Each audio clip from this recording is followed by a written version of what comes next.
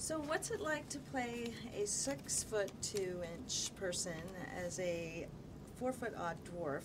He's five foot two. film? Is he five foot He's two? five foot two. It's Now not that small, is it? It's not really. that small. How tall are you?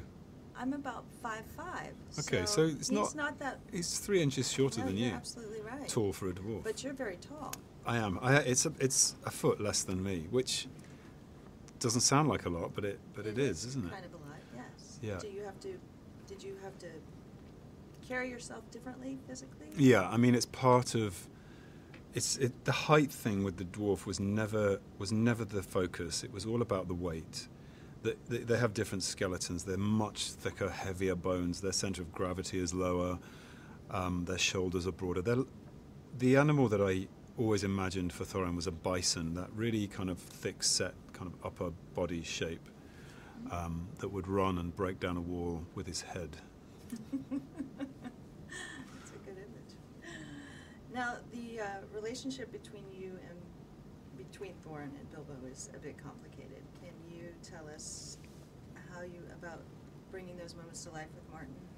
How that was? Yeah, I mean, I, it, it is complicated and complex, and, and one never really knows how it's going to manifest itself according to the edit and the cut and the choices that Pete makes after we've shot. So we really did shoot many choices for him so that he can shape that relationship as much as we could.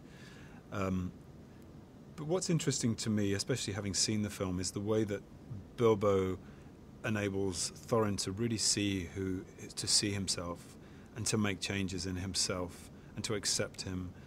Just you know, he was very anti-Hobbit in movie one.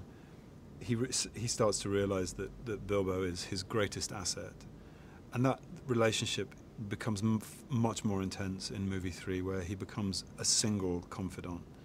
So um, seeing that evolve through movie movie two is really interesting. Can you talk about Thorin's journey as he gets so close to his goal yet faces all these obstacles like the elves and the giant spiders and what he's going through? Yeah, I mean, I think um, I think in this in this middle piece, you really see Thorin at his lowest point and at, and at his highest point as well. You know, being captured by Thranduil and thrown into his dungeon, stripped of every possible means he has to get to the mountain and finish his quest, is possibly the lowest he'll ever come. Um, to getting to the door and opening it and breathing the air of Erebor once more, it's that moment is fills him with such joy, such achievement. But mixed into that is the danger that he then has to face. Now, what has the experience of working with Peter Jackson been like for you?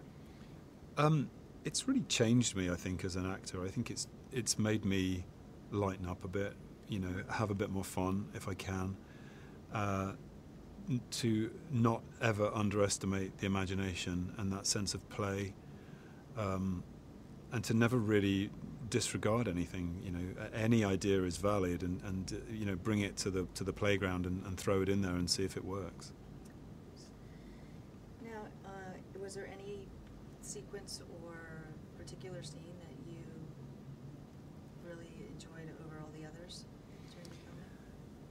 Um, I think uh, I think the moment when they when they enter the mountain is I really enjoyed playing it because for the rest of the journey it's it's thrills and spills and fighting and action and, and uh, adventure. And this is one moment which was very still and sacred and spiritual. And, and I really enjoyed this, the location that they built for us the set and just that feeling of, of opening the door. It's everything they've wished for. And, and uh, it was a great it's a great moment for, for Thorin and the dwarves.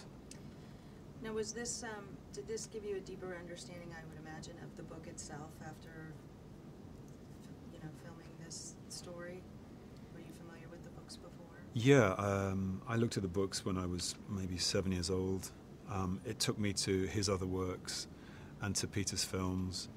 Um, I haven't actually been back and looked at the books since filming, but uh, but it would be interesting to do that. I think to, to sort of relive it through back to Tolkien's words. And how is traveling to New Zealand and working with the other uh, film talent?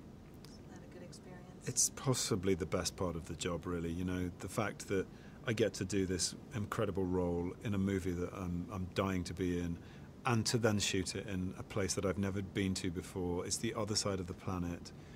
It's um, the most spectacular, pristine wilderness I've ever been to. It's um, it doesn't really get much better than that.